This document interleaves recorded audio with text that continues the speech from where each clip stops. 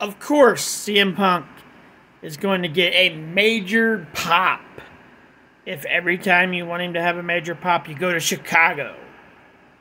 Every it seems like we go to Chicago every time CM Punk and AEW is going to be on the show. It's like, okay, let's go to Chicago. CM Punk's going to be on the show. Oh, oh, CM Punk's going to be on? Okay, let's go to Chicago. Because this guy doesn't get as allowed a pop outside of Chicago. I'm sorry. This man was an amazing wrestler back then. He hasn't been like I'm not gonna say he hasn't put on he could still put on a good match, but he's just I I just think he's fucking boring. Like I'm sorry, I just think the guy's boring.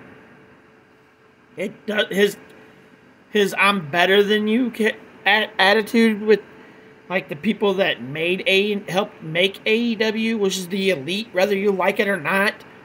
There probably wouldn't be an AEW if it wasn't for Cody Rhodes. In the elite, there probably would not be no AEW. And, and this guy is not. Let's let's be real. Let's be real. Millions of dollars spent on CM Punk ain't making your company any better build your stars you have, your young guns. So in a couple years, they're the makers of your money. And they have quite a few young, fucking amazing wrestlers in AEW that could be big ass superstars.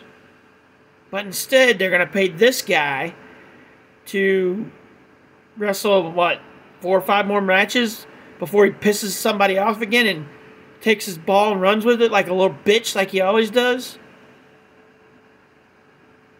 I know there's a lot of CM Punk fans that are going to pissed off because of what I just said, but yes, every time this guy doesn't get his way, he tucks his tail and runs like a little bitch. That's just what he does. I'm just not a fan. Like I was a fan back in WWE even all the way back to Ring of Honor. But I've not been a fan at all of his AEW run. Like his first day he come back, it was pretty badass because it's like he hadn't seen him forever. Then he had his first match, and I was like, the hype wasn't as hype as it should have been. Like, he's just not the same guy. He's not who he was back then. And he's already running his pie hole, which means in about four or five matches from now, he's going to take his balls and run with them out of the company again.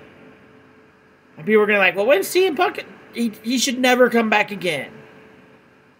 Ever.